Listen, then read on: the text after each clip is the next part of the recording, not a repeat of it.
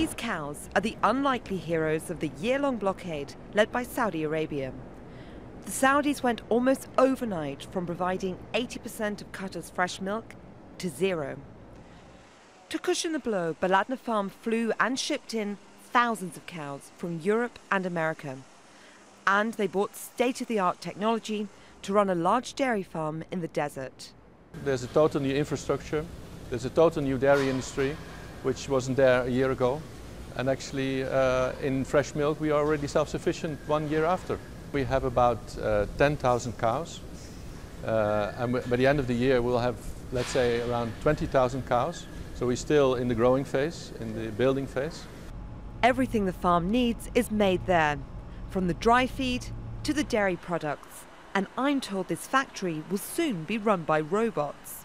Now, one of the major challenges is to keep these cows cool in the blistering summer heat. And these water sprays and giant fans are used.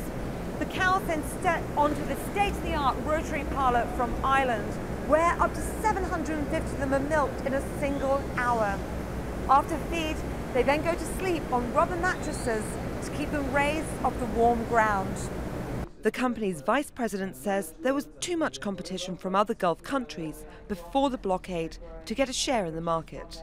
It's opened big opportunities for these entrepreneurs in order to develop themselves, develop their own companies by creating uh, small and medium-sized companies in order to fulfill the gap.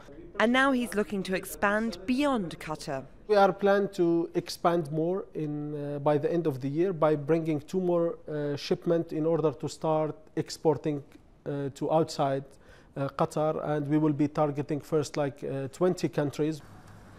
Of the $1 billion worth of all food imports to Qatar three years ago, the Saudis and the United Arab Emirates sold about a third.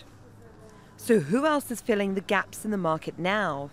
We were also able to find alternative products, especially for a lot of the de detergents and a lot of the food uh, supply, also through Turkey, uh, Oman, Lebanon, Morocco, Tunisia, Algeria, uh, Europe, all across Europe.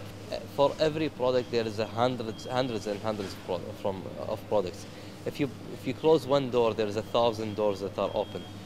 For many Qataris, the blockade was a wake-up call towards self-sufficiency and it's allowed new international investors to take a slice of the pie too.